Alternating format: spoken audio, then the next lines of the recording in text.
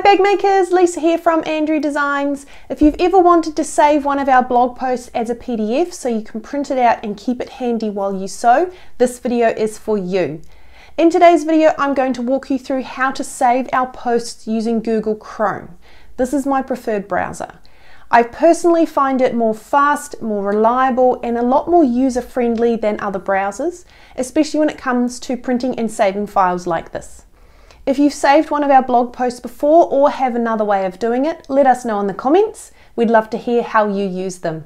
In the meantime though, let's go.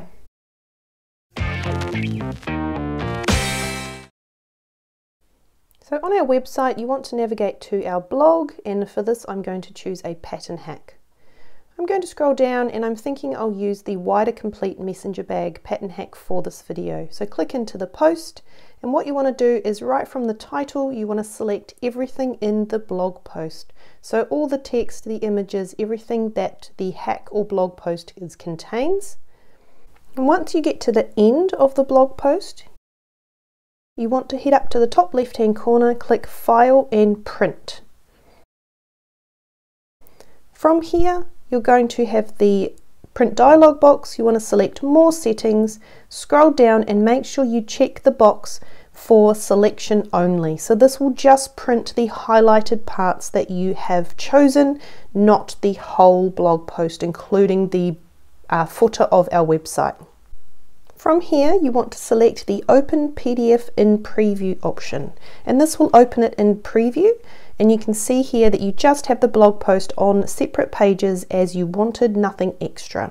From there, click File in the top left hand corner again, and you can either select Save to save it as a PDF to your device, or you can select Print to print it out on your home computer.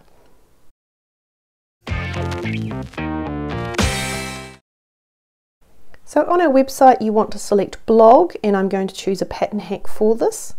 I'm going to just choose the first one here in the list, which is the little freehand clear vinyl hack. So I'm going to click into that blog post. And from here, what you want to do is select everything in the hack. So right from the title all the way down to the end of the hack, all the text, all the images, everything that you want to save in as the PDF or print out. So you just want to scroll all the way down to the bottom.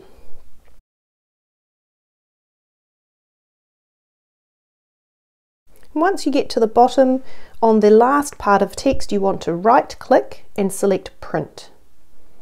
From here in the print dialog box that pops up, you want to select more settings and scroll down and make sure that the selection only checkbox is ticked so that you are only saving or printing the blog post you want and not our footer. Scroll back up to the top under destination and here you can either select save as PDF which means that you will save all these pages as a PDF file to your device and from there you will just click save in the bottom corner there. Or under destination you can select your home printer which will then enable you to print the pages and again down the bottom you can just select print to print them out on your home printer.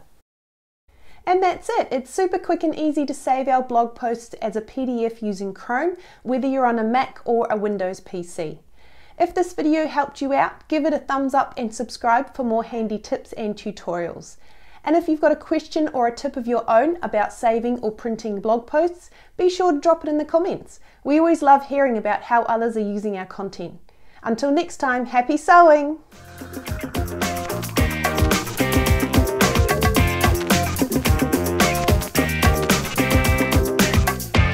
you